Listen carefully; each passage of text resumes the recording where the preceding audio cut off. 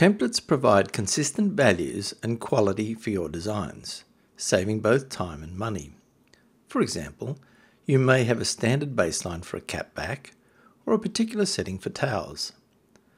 Templates preserve these settings so there is no need to go through the process of setting up these properties when creating similar jobs in the future.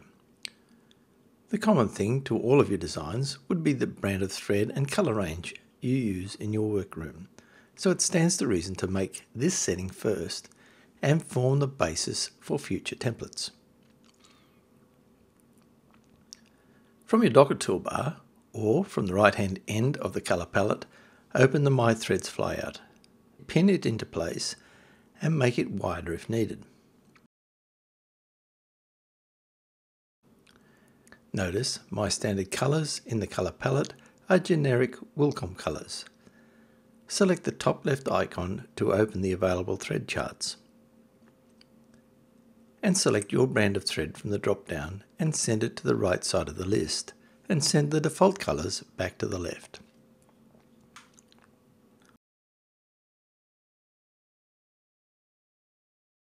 Now OK, and notice the My Threads chart is filled with your new brand choice.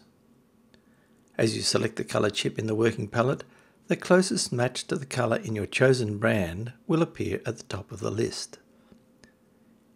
If you wish to select another colour for the working palette, select it from the list by typing in the code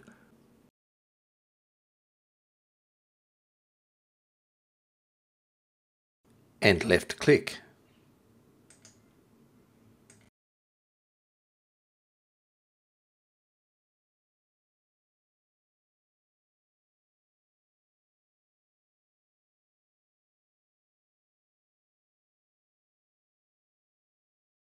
Or match all current colours in the palette to the new chart by selecting Match All.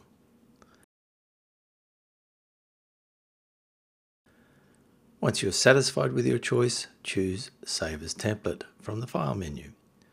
The standard template is normal, so override it.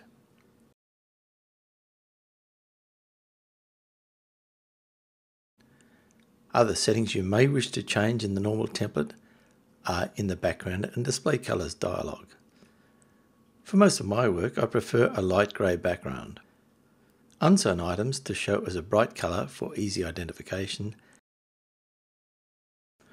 and the guides as blue to stand out against any image that's been scanned on a white background.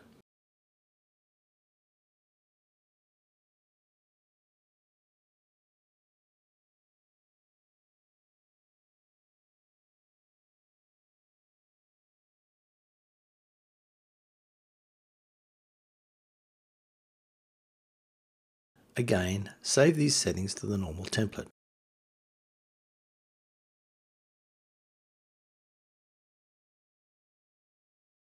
From here, you're ready to create a specialty template, for example a cap back. From the product visualizer, choose headwear and cap back. If you don't have the cap back image, check the downloads at the bottom of this article and download along with some instructions. From the Settings tab, choose a colour and apply now.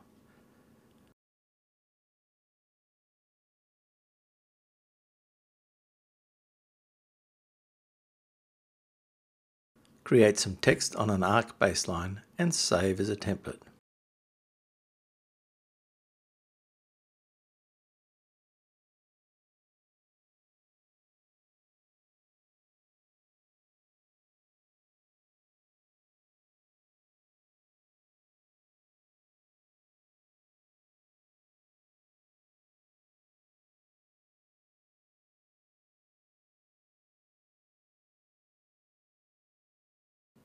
I will call mine cap back.